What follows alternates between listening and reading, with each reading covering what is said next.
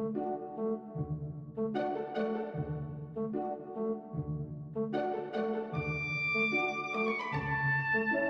んにちは。トリからチャンネルで。ハロー YouTube。これはミルワーム飼育ケージですね。さなぎの回収作業やってますよ。めんどくさいけど楽しい作業ですよね。収穫って感じがするかも。まあ、収穫だよね。ミルワーム繁殖における大きな目的の一つが、この、さなぎ。ペットの餌としてとても重宝するもんね。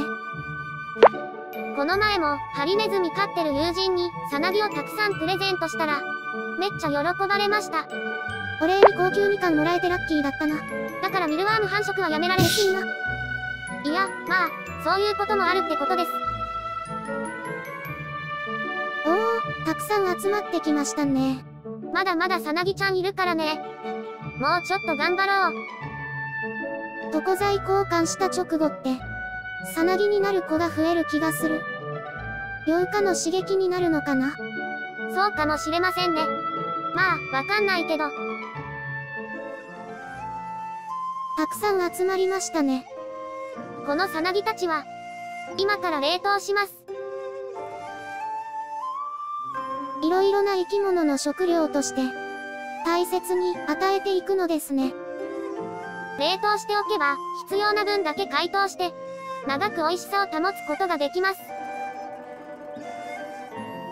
幼化のタイミングは、飼育する側の意図とはほぼ無関係だから、幼化した都度冷凍して、ストックするんですね。餌として一度に大量のさなぎを与えるってことは、あまりないですからね。成虫になってしまう前に、その成長を止める必要があります。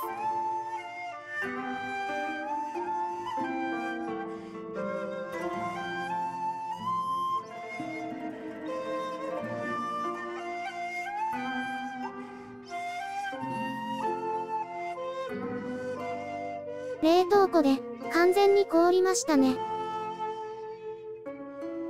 冷凍のままなら、数ヶ月保存できると思います。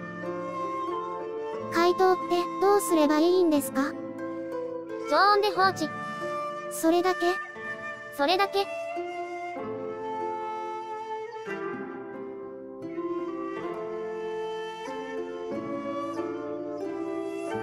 解凍完了でーす。硬さとか、変わっちゃってないかな？実際に、触ってみましょう。柔らかいままですね。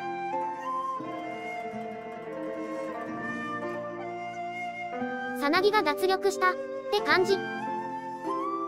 餌として良い状態で、キープされるんですね。うちでは主に、亀や金魚の餌にしてますし、ハリネズミやハムスター、あと大型肉食魚飼ってる友人たちにも、重宝されてます。一番美味しい時を、瞬間冷凍。大事に育てたミルワームを、なるべく良い状態で食べてもらうため、今日も、さなぎを冷凍します。